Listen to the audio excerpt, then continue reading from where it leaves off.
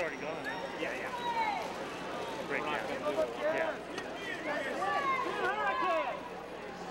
You know, I think as I approach each new phase in my life, something wonderful comes up and surprises me. And this is a new wonderful thing that was so unexpected for me, but something I'm really proud of. And now I know that my name, my legacy somehow will be a part of this industry that I love so much because the star is forever here.